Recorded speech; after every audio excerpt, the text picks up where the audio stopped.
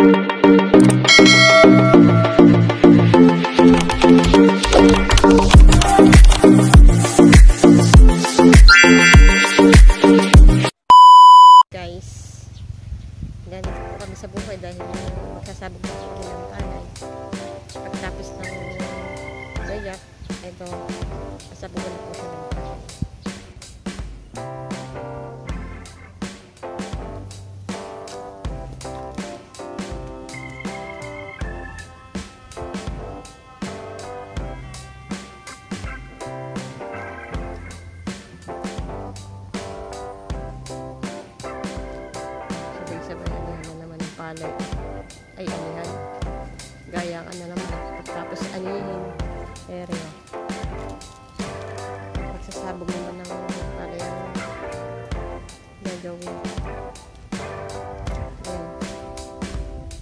mga ilang days lang to.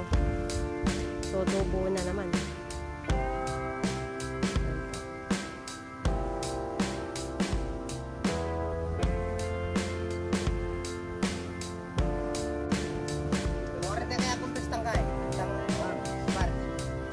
nagsasabi mo sila ng palay. Ganun nga kaya baon doon. Hindi na talaga makamapin ako. Kaya na lang ko yung binigay. Wala ko na karoon yung sa lupa.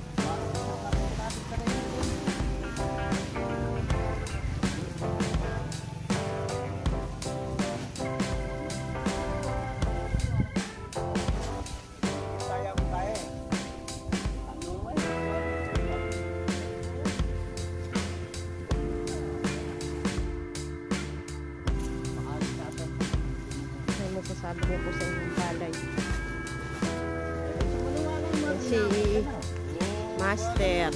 Oh, si Little Master. Asabogan na po nila yung palay para malagyan na po ng laman yung bukid. Ayun po, oh, nakalinang na. Maya po, sasabukan na ng palay. Paligin. Papaligin mo yung tractor naman kamulag.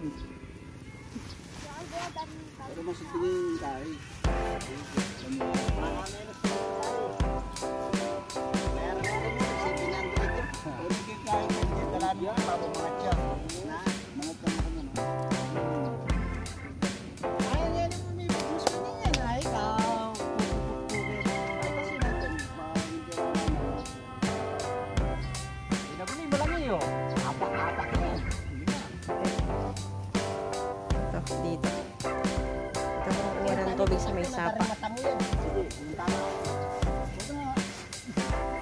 Ayun po, sasama ko sila.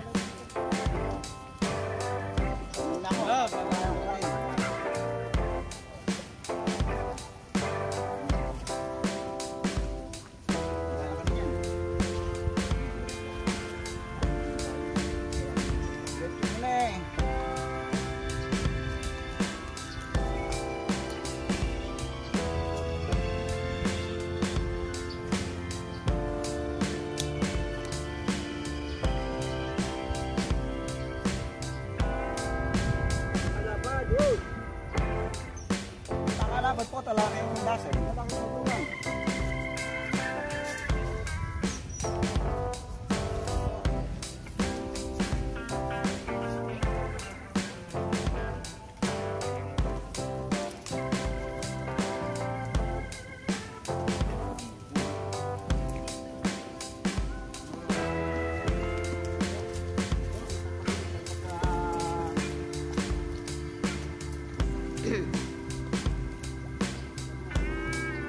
Sabog, tanim lang po kasi dito kaya nagsasabog lang sila. Ang ano na po ito, second crop. Dito po open water lang. Dito kumukuha ng tubig sa bisapa. Ayan dyan. Ayan. Ayan. Sasasabog na po sila hanggang doon sa may dulo.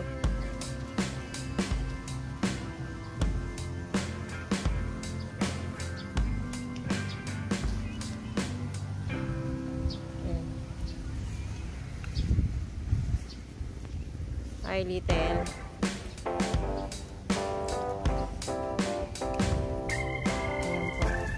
Ayan po. Ektarya po itong sasabugan diretso hanggang po ito sa may dulo. Ayan po. Mga ano na po ito, mga second crop. Mga second crop na. Sabi-sabay po halos naglalagay ng palay dito dahil tubig. Ayan, yung tubig. Oh, ito po. Na nila ng tubig dito. Dahil po sa may sapa. Ayan, dyan. Pagtapos pong anihin, maglalagay na naman. Papahinga na ng konti yung palay. Tapos sasabugan na naman po. Ayan. Sabay-sabay po. Bali, tatlo hanggang apat na buwan po ang. Gin- Tapos na pong igya, kaya sinasabugan na.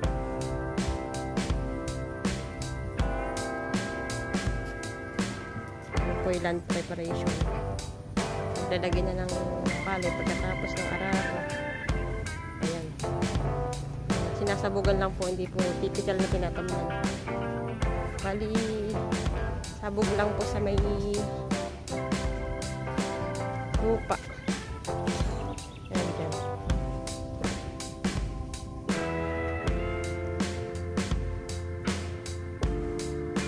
Ayan po. Pagtapos yan bukas, i-spray naman po nila ng direct. Para hindi tutubo yung damo. Para hindi laging spray ng spray para tanggalin yung damo.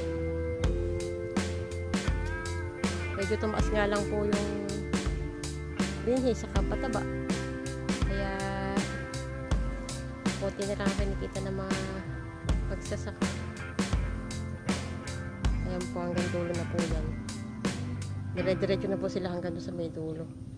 Pagtapos po niyan, ah, ano naman,